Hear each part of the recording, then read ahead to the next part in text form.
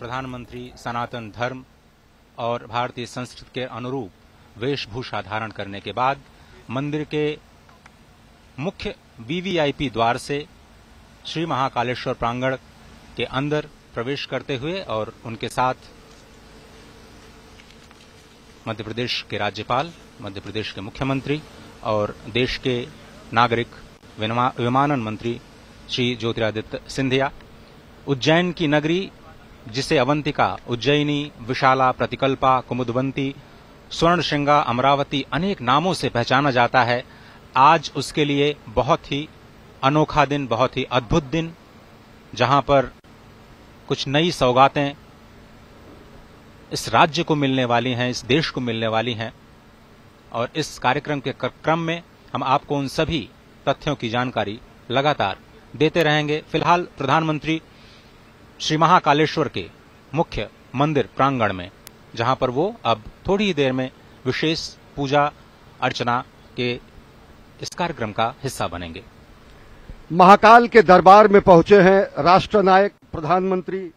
नरेंद्र मोदी। महाकाल के दरबार में पहुँचे हैं राष्ट्र निर्माण के संकल्प की सिद्धि के लिए। महाकाल के दरबार में पहुँचे हैं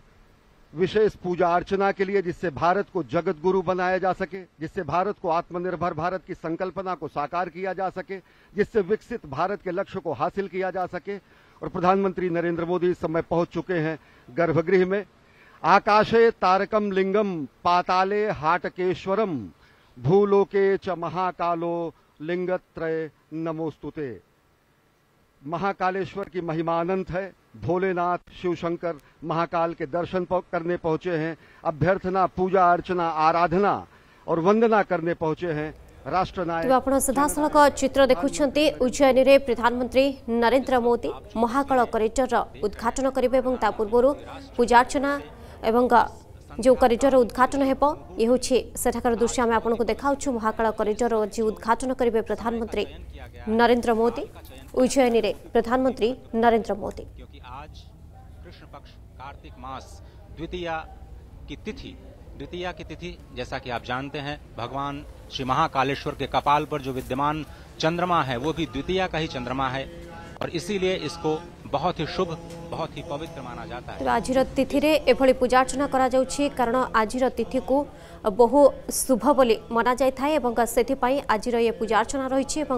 महाकाल करिडर उद्घाटन करेंगे प्रधानमंत्री नरेन्द्र मोदी जार सीधासल चित्र आम आपको देखा बर्तमान पूजा अर्चना चली